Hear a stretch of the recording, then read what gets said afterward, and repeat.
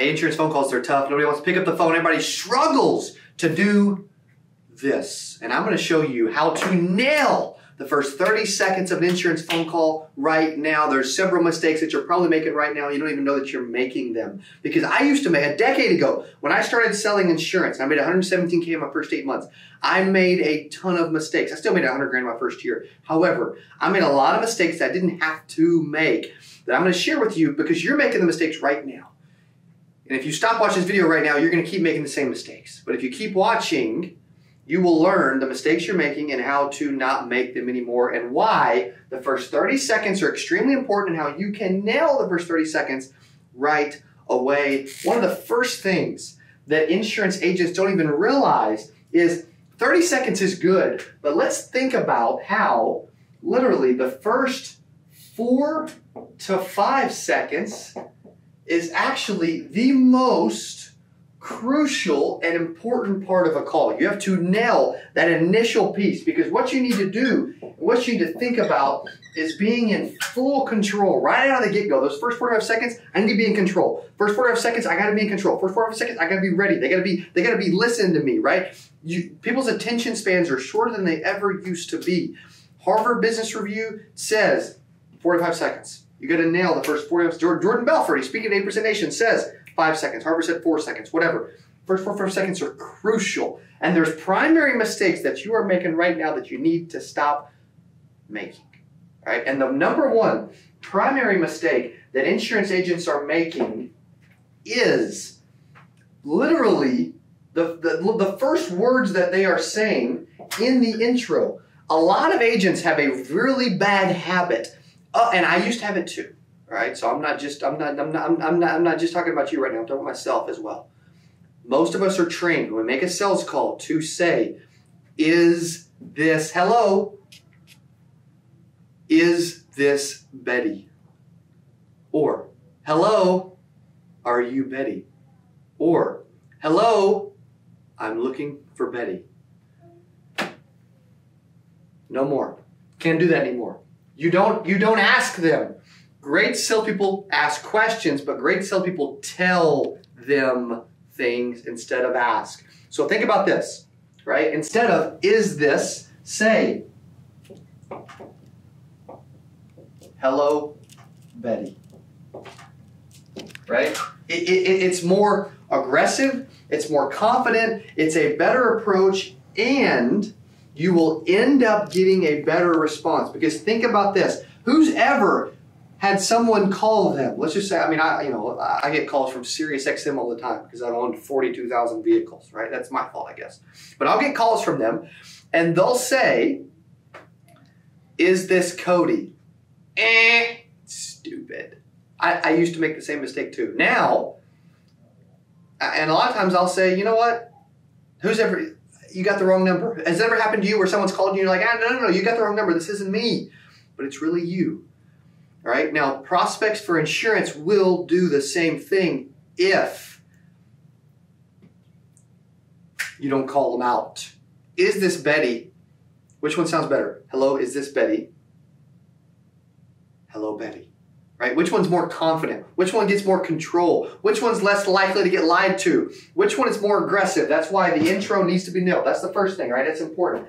The second thing is, I only say I only say my first name, so no last name and no company name. You say, well, dude, that's that's that's weird, right? Well, it's, dude, it's weird that you guys do it. You know, I used to make the same mistake. Most people don't know this. When I started as an intern at 19 years old, I was calling for a veteran agent out of the phone book, literally flipping through the phone book, and oh, that looks good. Let's call that person. And I would pick up the phone and I would make those calls and I would literally cold call. And what I didn't realize back then is I was making some bad mistakes and I wasn't nailing the first 30 seconds. And I would be like, you know, hey, this is Cody Askins with Mutual of Omaha back then. And it gave people a chance to interject, to take control, to jump in. And they would end up saying, you know what? who is this? Or why are you calling me? Or I didn't ask you to call me, or I'm not interested. It gave them a chance to interject. When they interject, when they throw an objection early in the call, you lose control. So the first 30 seconds is all about literally not allowing objections to come up. All right, so hello, Betty. Then, this is Cody. That's it. Right? Instead of, this is Cody Askins with, you know, the secure insurance company, right? It's no. First name. That's it. Right? That's tip number two. The third one is that, and this is this is continues the first 30 seconds.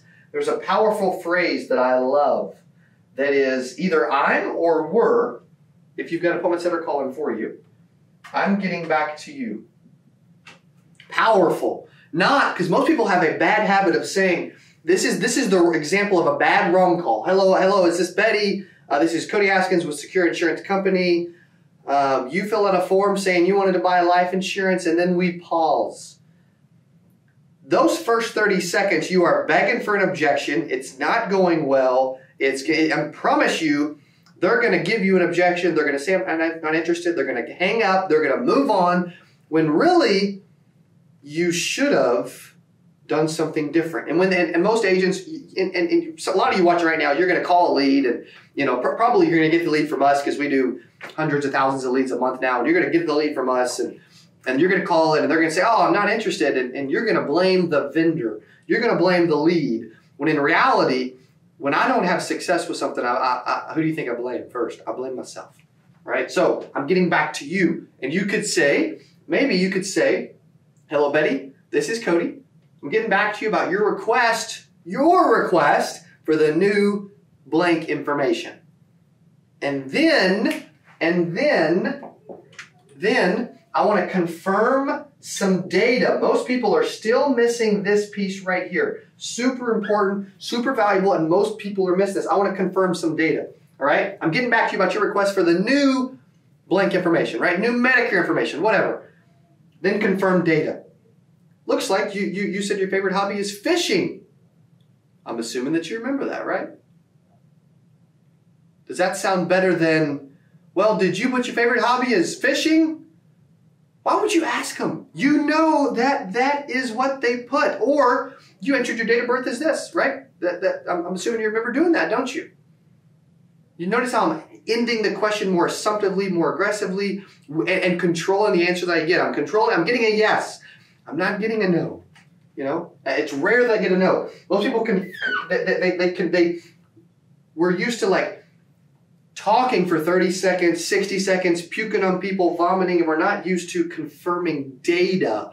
Data needs to be confirmed because it's easy to say, well, you filled out this and you did this, and you know, uh, you know, are you interested?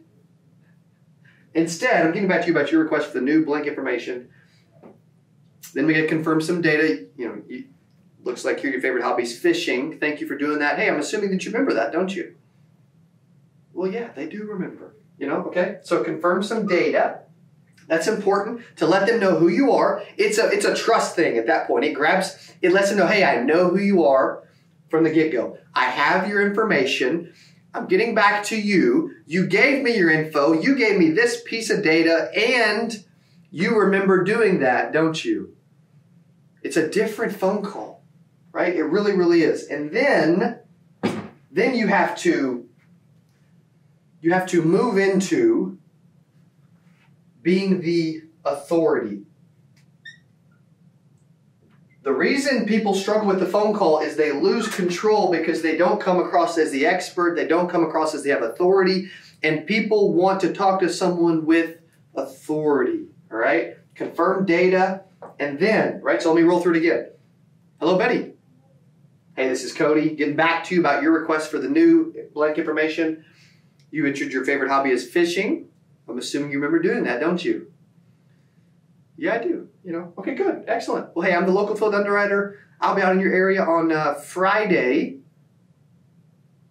Should I drop this off in the morning or in the afternoon? Which is better for you? That's the authority and the question.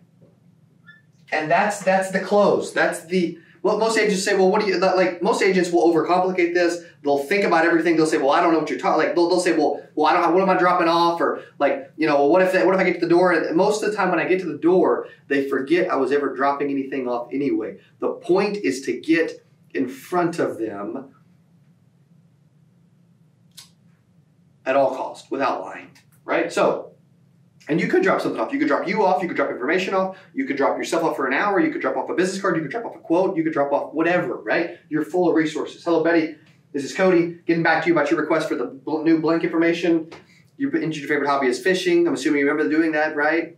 Yes. Okay, great. I'm the local field underwriter. I've been assigned to help you. I'll be out in your area. Looks like Friday. Good. Should I drop this information off in the morning or in the afternoon? Which is better for you?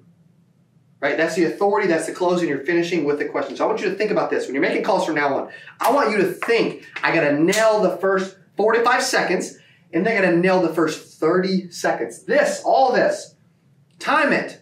It's within the first 30 seconds. It is. And this is important to nail the first 30 seconds of the insurance phone call so you stop getting hung up on, so you stop, stop getting objections, and you start winning when you make calls. Hey, if you love this video and you want to know more about why insurance agents quit, why do they quit? It's right there. Go watch that video. It's an excellent video, and I'll see you there. 92% of people fell out of this business, which is insane. You believe there's four reasons why. You believe the first reason is a lack of training. Yes. Yes. Explain that.